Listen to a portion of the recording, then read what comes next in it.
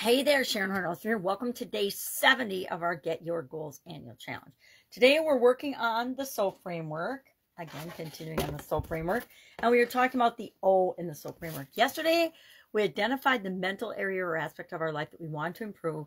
And we told ourselves the story about our current situation as well as our desired situation, our current to desired. And that creates a gap that we're going to fill with the rest of the SOAP framework, the O, the A, and the P. O stands for options in this particular problem solving decision making uh, process or framework. And today we're going to talk about, well, now that we know what this gap is, what are some options to go about filling the gap? And the tool we're using today is visualization. We'll talk about visualization in a lot of different forms of visualization this year.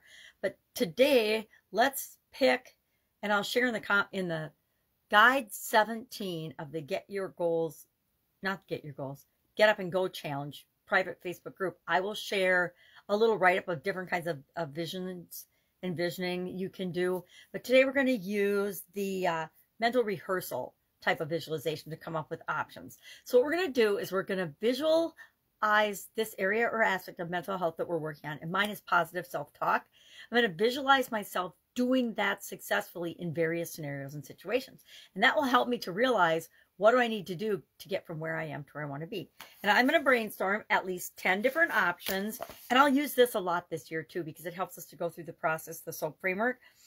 10 brainstorm options at least. You have to come up with at least 10 possible things that you can do to get you from your current story to your desired story with respect to mental well-being, mental health, the item you decided to work on. I'm working on positive self-talk, so I need to use my mental rehearsal visualization technique to come up with at least 10 different possible steps or actions or things I can do to improve my self talk, right? To go from negative to positive, to find a way to flip that switch as quickly as possible. So when I notice that I'm thinking negative, I'm going down that negative downward spiral, I can stop, cancel it, turn it around, and start climbing up with an upward spiral in positive thinking and positive self talk.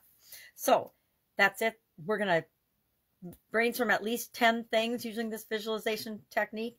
And then we're going to circle three. And the reason we circle three is for tomorrow when we get to the A, we are going to analyze and take action on one of those things. Just one. We're only going to take one action, one action a day. Do one thing every day that helps you get what you want. That's what this goals challenge is all about.